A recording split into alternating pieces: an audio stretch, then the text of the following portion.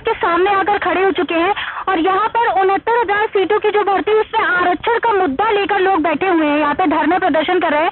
तो आइए हम जानते हैं कि आरक्षण का क्या मुद्दा है। बताइए जी मैम, ये उनहत्तर हज़ार शिक्षक भर्ती का मामला है। आरक्षण घोटाला हुआ है। सत्ताईस परसेंट ओबीसी को जो कि अधिकार प्राप्त है, वो न देकर तीन दशमलव आठ छह परसेंट हमें आरक्षण मिला है। ये बात हम नहीं कह रहे हैं, ये बात कागज़ी है। माननीय राष्ट्रीय पिछड़ा आयोग ने यह बात माना है और उसने 29 अप्रैल को अपनी अंतरिम रिपोर्ट लगा दी है इस मामले में कि नहीं ओबीसीयों के साथ घोटाला हुआ है और उन्होंने ये माना है कि हमें 27 की जगह तीन दशमलव आठ छह परसेंट आरक्षण और एस को 21 की जगह सोलह दशमलव छह परसेंट आरक्षण दिया गया है। हम लोग तब तक धरने में बैठे रहेंगे जब तक हमें न्याय नहीं मिल जाता है नहीं तो अपनी जान देने को यहाँ तैयार हैं। कितने दिन से बैठे आप लोग? मैम हम लोग बाईस तारीख से बैठे हैं। हम बाईस तारीख से बाईस जून से बैठे हुए हैं और लगातार बैठे हैं और बैठे रहेंगे। और जब तक हमें हमें हम, हमारा अधिकार नहीं मिल जाता हम घर जाने को तैयार अभी तक कोई अधिकारी से आपकी बातचीत हुई कोई सामने आया किसी ने बात करने की कोई कोशिश की? जी मैडम हम लोग अपने डिप्टी सीएम से मुलाकात करना चाहा क्योंकि वो हमारे समाज से आते हैं हमारी उम्मीद थी कि वो हमारी बात को सुनेंगे लेकिन हम लोगों को केवल लाठी मिली है वहाँ जाने पर वहाँ खदेड़ा गया है वहाँ आपको लाठी लाठी चार्ज की गई है? जी लाठी चार्ज की गई है हमारे कई साथी यहाँ तक मुझे भी चोट आई है और कई साथियों को चोट लगी हुई है उसका बाकायदा हम लोगों के पास सबके पास सबूत है और एक मित्र को तो हमारे सिर में चोट लगी है और पट्टी भी बंधी है उनको उनको उनका मेडिकल रिपोर्ट भी हम लोग के पास है। कितने दिन से बैठे हुए हैं बाईस तारीख से बैठे हुए हैं हम लोग। बाईस तारीख से तो अभी तक अधिकारियों की तरफ़ से, सरकार की तरफ़ से कोई प्रतिनिधि नहीं भेजा। इनके द्वारा जब प्रयास किया गया तो लाठी चार्ज कर दी गई। और आप बताइए, आपकी मांगे क्या है? हमारी यही मांग है कि सरकार हमारा, हमें आरक्षण पूरा दे। अगर जब तक आरक्षण हमारा पूरा नहीं होता है, तब तक हम यहाँ अनवरत धरने पर बैठे रहेंगे। और दिसंबर से पूरे प्रदेश में आरक्षण महाघोटाला रथ निकाला जाएगा, जिसमें ओबीसी, एससी सभी साथियों को जागृत किया जाएगा कि ओबीसी, एससी भाइयों क्या करोगे अपने बच्चों को पढ़ा के? जब तुम्हारा संविधान प्रदत्त अधिकार तुम्हें नहीं दिया जा रहा है, क्या करोगे तुम? तुम्हारे बच्चों को नौकरी नहीं दी जा रही है, तुम्हारे बच्चे योग्य हैं, फिर भी तुम्हारे हक पर डाका डाला जा रहा है। और ओबीसी एससी के नुमाइंदे जो इस सरकार में बैठे हुए हैं, वो सिर्फ़ हम लोगों पर लाठियाँ बरसाने का काम कर रहे हैं। हमारे वर्ग का जो आरक्षण का लाभ है, वो हमें हमारा अधिकार नहीं दिलवा रहे हैं। कि जाते हैं मांगने, केवल लाठियाँ मिलती हैं, आश्वासन मिलता है। आज हम दो साल से मानसिक पीड़ा से गुजर रहे हैं। क्या सरकार की ये चिंता नहीं है?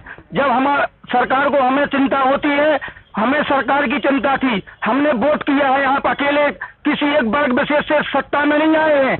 आप अगर हमारा ध्यान नहीं रखेंगे तो जिस प्रकार आप सत्ता में आए हैं, उसी तरह ये ओबीसी अस्सी समाज आपको सत्ता से बेदखल करने का काम करेगा।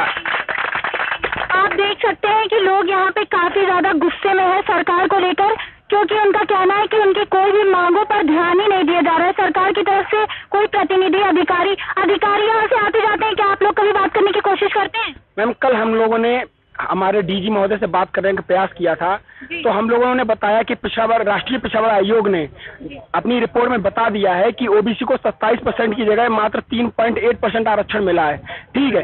तो हम लोगों ने उनको लेटर भी उनके पास में आ गया है आयोग की तरफ़ से भी आ गया है। हम लोगों ने भी डायरेक्ट दिया है। तो वो कह रहे हैं तुम लोग हमसे ज़बरदस्ती ले लो क्या? तो हमने कहा हमने की ज़बरदस्ती हम नहीं लेंगे ये हमारा अधिकार है हम इसे लेके रहेंगे। अब मैं सरकार को और प्रशासन को सबको बता देना चाहता हूँ कि हम लोगों की धैर्य की परीक्षा ना लें। हम लोग लगातार अभी अपनी मांगे कर रहे हैं एक साल से लड़ाई लड़ रहे हैं कोर्ट से भी लड़ाई लड़ रहे हैं और यहाँ भी मंत्रियों से अधिकारियों से सबसे मिल रहे हैं। और हमारे पास ऑर्डर भी है लेकिन इसके बावजूद भी हमें न्याय नहीं दिया जा रहा है। तो आप देख सकते हैं कि इनके पास ऑर्डर भी है इनका कहना है कि इनको तब भी न्याय नहीं दिया जा रहा है। और यहाँ पे मैडम आप बताइए आप भी बाईस तारीख से यहाँ बैठे हैं? यस बाईस तारीख से ही बैठे हुए हैं। हम लोग सब लोग अपने परिवार को छोड़ के यहाँ क्योंकि बच्चे भी छोटे छोटे हैं, उनकी चिंता छोड़े बिना हम यहाँ बैठे हुए हैं। और कि सरकार किसी चीज़ को नहीं मानने के लिए तैयार है। दो दो परीक्षाएँ क्वालिफाई कराई हैं, तब भी उनको योग्य टीचर नहीं मिल रहे हैं। बस उनको ये कहना था योगी जी ने ये कहा था कि योग यूपी में योग्य नहीं अरे योग, सब यहाँ देखिए, सब योगी बैठे हुए हैं। और हम लोग ये लड़ाई लड़ रहे हैं धरने बैठ के कि हमको टीचर बनना है। रिट याचिका के जवाब में माननीय उच्च न्यायालय के समक्ष दायर जवाबी हलफनामे के अनुसार राज्य ने उल्लेख किया है कि राज्य ने चयन प्रक्रिया में प्रत्येक श्रेणी के लिए कट ऑफ़ अंक निर्धारित किए थे। माननीय उच्च न्यायालय के समक्ष राज्य द्वारा किए गए कथनों के अनुसार अनारक्षित श्रेणी के उम्मीदवारों के लिए कट ऑफ़ अंक सड़सठ दशमलव एक एक था, जबकि यह अन्य पिछड़ा वर्ग के लिए छाछठ दशमलव सात तीन था और अनुसूचित जाति के लिए यह इकसठ दशमलव शून्य एक था।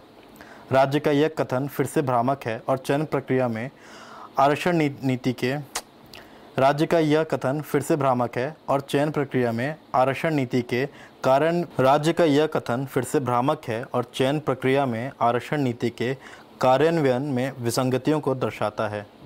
आरक्षण के अनुसार ओबीसी उम्मीदवारों की कुल संख्या उनहत्तर हज़ार रिक्तियों की कुल सीटों का 27 प्रतिशत होगी, यानी अठारह हज़ार पाँच सौ अंठानवे सीटें ओबीसी उम्मीदवारों के लिए होंगी, लेकिन राज्य द्वारा किए गए कट ऑफ़ प्रतिशत के आधार पर इस गणना के अनुसार कुल सीटें ओबीसी उम्मीदवारों के लिए दो हज़ार छः सौ सैंतीस हैं। आयोग के समक्ष राज्य का उत्तर विरोधाभासों से भरा है और यह संदेह और अनुमानों पर आधारित है। वर्तमान चयन प्रक्रिया में आरक्षण नियमों को कैसे और किस तरह से लागू किया गया है, यह दिखाने में राज्य विफल रहा है। छात्र हितों का हनन हुआ तो